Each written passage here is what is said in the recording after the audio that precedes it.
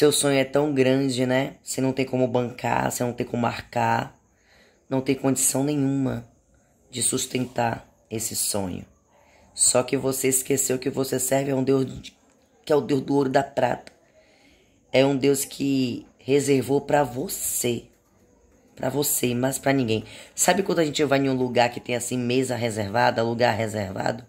Exatamente. Tem uma bênção tão grande reservada para você.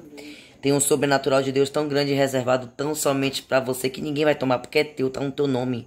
Não tem como ninguém sentar, não tem como ninguém se se apossar de uma mesa, de uma cadeira, de algo que está escrito reservado. Assim a tua bênção. E nada, rapaz. Puderam, pô, e fizeram de tudo para poder tentar arrancar, para poder não, não chegar na tua mão.